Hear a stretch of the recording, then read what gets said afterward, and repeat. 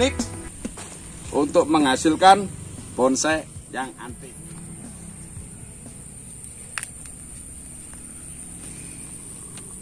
Halo assalamualaikum warahmatullahi wabarakatuh. Selamat berjumpa kembali dengan saya Indra Bonsai di channel Warung Kacir ya.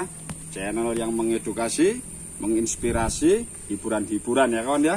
Sore hari ini saya akan uh, mencoba mempraktekkan uh, bagaimana akar model expose root niagari ya Bisa menjadi uh, brekele seperti ini ya Yang tadinya Eh, lurus-lurus seperti ini kawan.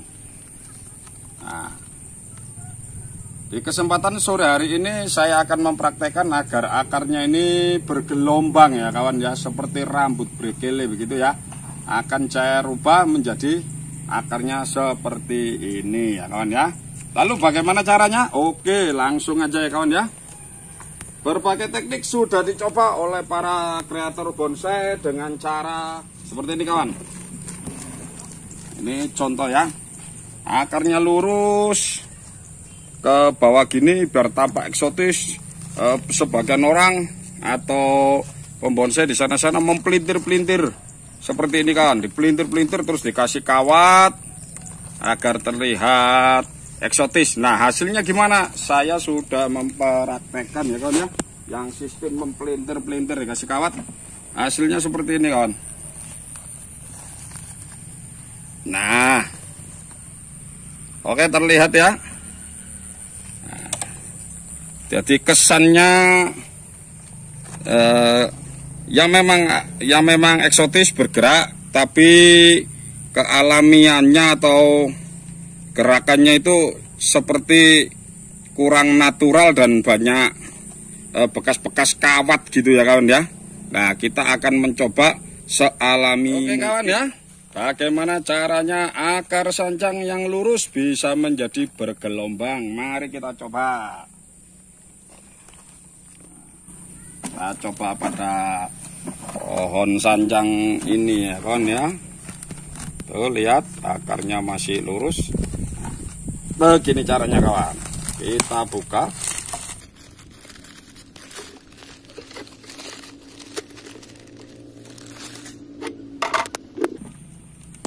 kita bongkar kawan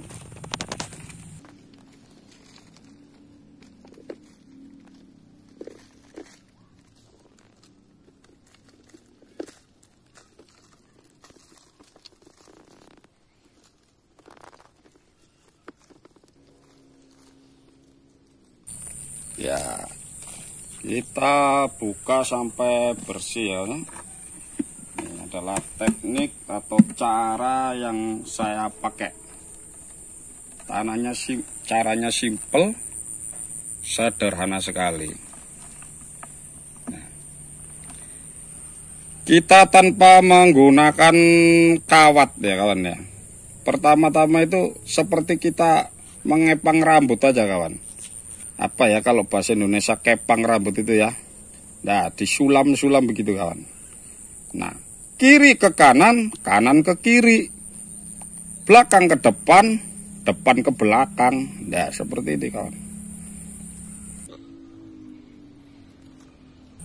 Santai, rileks, sambil ngobrol sama teman juga bisa. Yang penting eh, bergerak. Betapa mempesonanya diri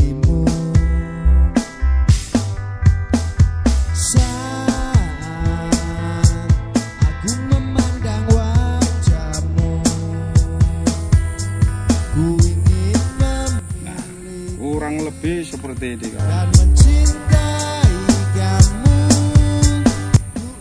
Kita tanam kembali sedikit akar ini biar enak diatur pertumbuhannya kompak kawan. Tanam kembali kawan. Saya biasanya menggunakan kokopit terlebih dahulu eh, pada akar ini ya supaya pertumbuhan akar bagus kawan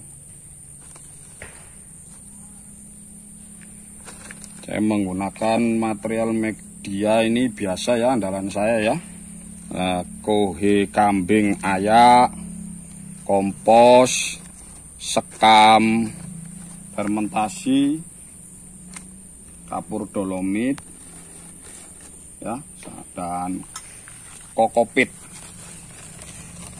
Sini kawan. Seakan pohon tegak lurus ya. Ungkapkan semua isi hati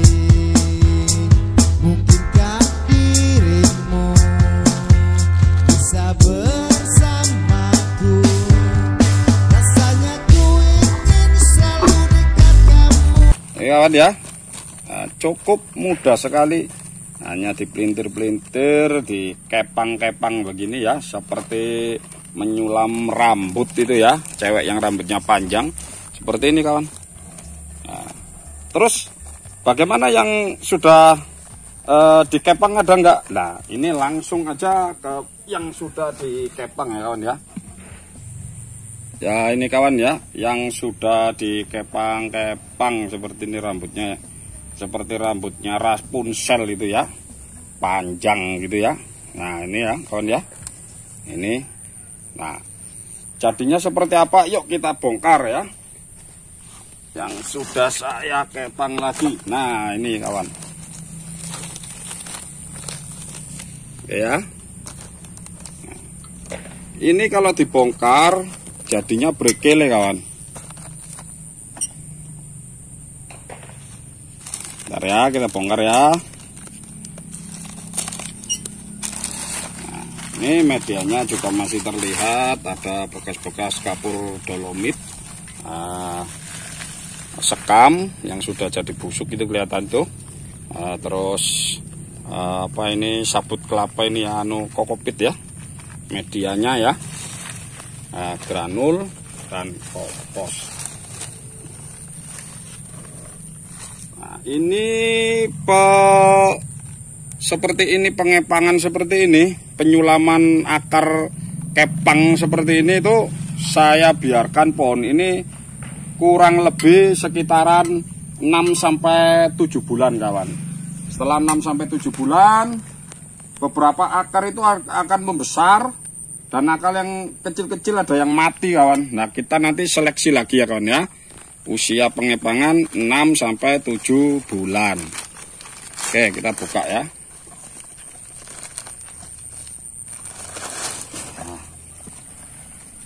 Kawan pohon sudah terlihat subur akar sudah mentok bawah ini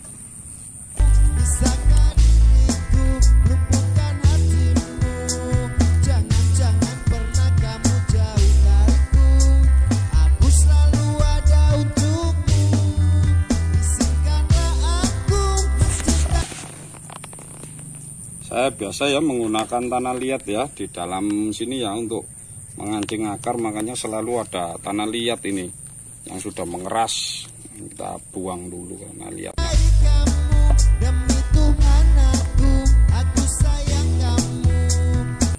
lalu bagaimana? Ya kita buka kembali kawan. Nah, kita kembalikan ke posisi semula kawan. Kita buka kembali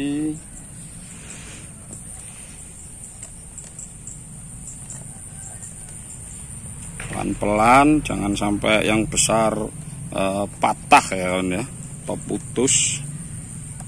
Nah, akar-akarnya masih bagus. Setelah kita buka ya seperti ini ya. Tuh udah mulai terlihat akar-akar yang mati. Uh, kita buang saja kawan. Seperti ini akar-akar yang mati ini kita buang. Kita sisakan akar yang gede-gede dan yang hidup ini sudah berkele nih pasang. Itu kita tanam kembali ya kawan ya. Tapi dengan kita tata akar ulang kawan. Nah ini. Di sini kita tanam kembali. Akarnya kan sudah nggak lurus ini. Sudah berkele dia ada goyang-goyang gitu ya kawan ya. Tuh udah goyang-goyang ya. Kita perjelas lagi goyangannya dengan e, membagi akar itu tadi. Dibagi satu persatu di e, urai, diurai. kawan ya, sudah terlihat brekele kawan. Tinggal kita tata lagi menggunakan apa? Andalan kita tanah liat alias lempung. tak tanam di sini kawan. Ces. Nah. Andalan kita jangan lupa saya memakai kokopit untuk pertumbuhan akar. Pohon ini tak akan cepat uh, stres akan cepat pulih kawan. Karena akar putih itu bagus.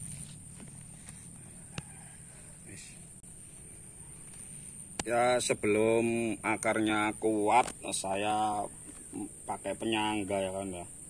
Dari bambu yang saya bikin seperti ini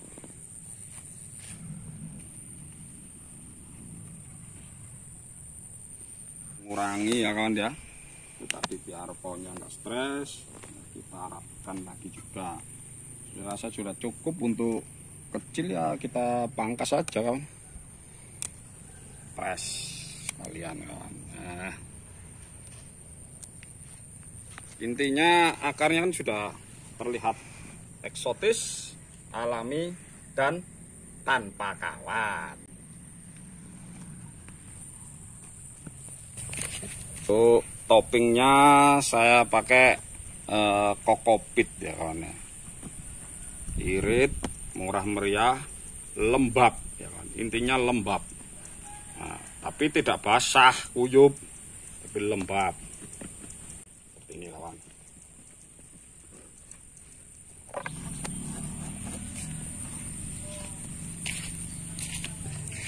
Setelah itu jangan lupa disiram kawan ya penyiraman juga harus rutin.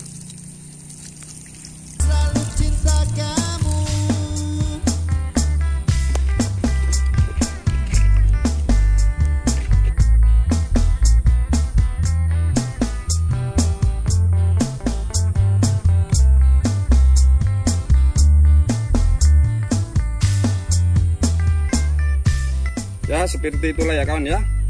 Prosesnya ya nah sudah seperti ini juga bisa kita potong sudah ya kawan ya.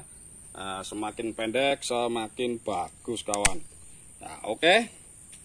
nah, proses dari akar yang lurus tadi yang akarnya masih lurus seperti ini tadi ya kawan ya. Ini nah, terus kita sulam menjadi seperti ini tadi ya kawan ya. Ya setelah disulam seperti itu selama 6 sampai 7 bulan menjadi seperti ini ya kawan ya.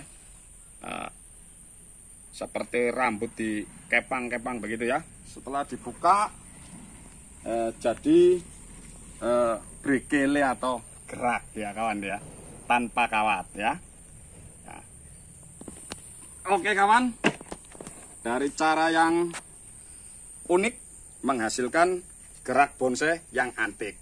Sekian dari saya, apabila bermanfaat jangan lupa untuk like, komen, dan subscribe. Assalamualaikum warahmatullahi wabarakatuh.